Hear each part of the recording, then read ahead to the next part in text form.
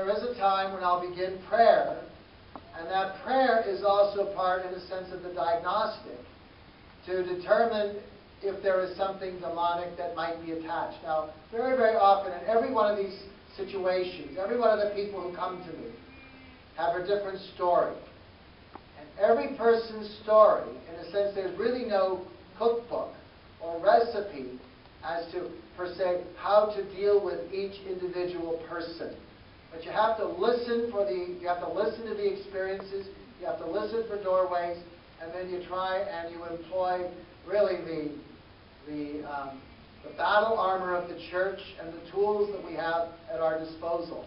And so very often when I pray, we'll pray deliverance prayer, it is as well meant to also be, in a sense, a diagnostic to see if there is any entity attached we very much underestimate the power of our sacraments and our sacramentals. Sacramentals would be things such as a crucifix or holy water, a blessed sacred object, that would be considered a sacramental.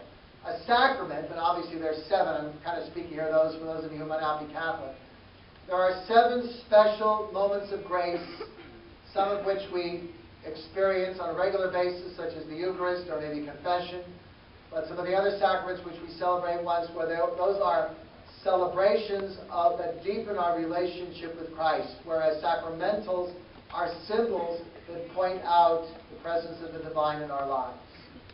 And so very often, those sacramentals can be trigger points, or even the sacraments can be trigger points whereby it will cause, if there is a demonic attachment, it will cause the demon to be threatened and the demon therefore to act out. Now, sometimes when I've prayed prayers of deliverance and I've listened to doorways and there does appear to sound like there have been some openings, the demons will also hide. And so, just because of that doesn't necessarily mean there isn't something demonic there. I'm not trying to create something that appears to be demonic. On the other hand, I'm always trying to have an open mind in terms of not only listening for the doorways, but also doing a lot of observation. And I never do any of this stuff alone.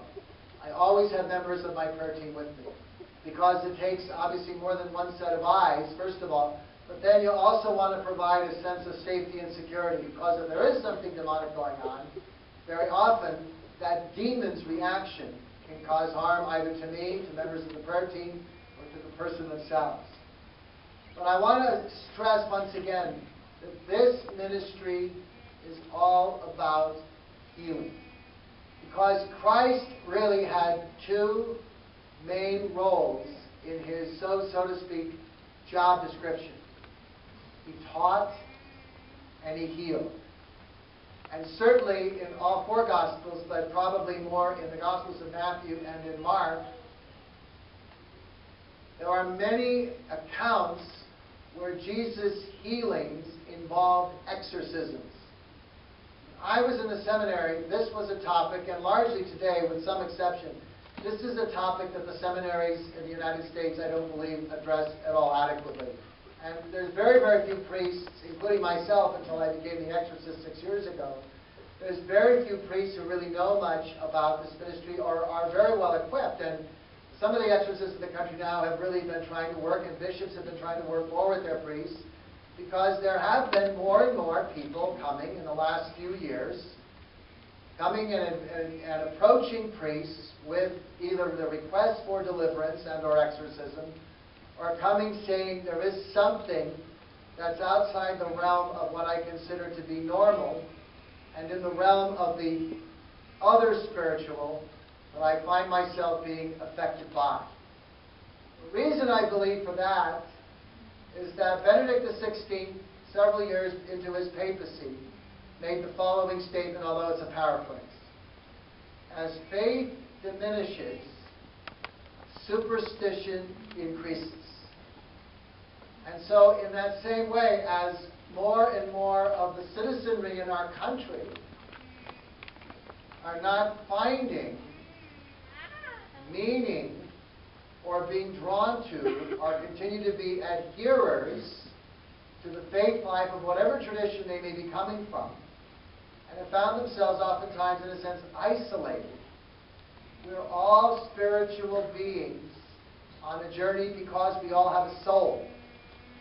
And because we have a soul, therefore each of us is a person. And because of that, there is still a kind of spiritual hunger for why am I here? What am I doing here? And what happens to me when I die? And it doesn't matter what religious background or culture or history, whatever, ever since humanity has had the ability to reason, because we are persons who have a sense in our human DNA of origin, those questions, in a sense, transcend time. What is the purpose of my life? And how is it I got here beyond the physiological? And where is all of my life going? Is it going to a reality that Christ came to tell us about and help us to become sharers in? Or is it simply a stream of consciousness that involves relationships, ideas, and events that comes to a crashing halt upon the moment that we die? In a sense, our faith leads us at a certain point to a place where we face that bifurcation. We have to decide is my life on a path that leads back full circle to God Almighty? Or is my life simply on a path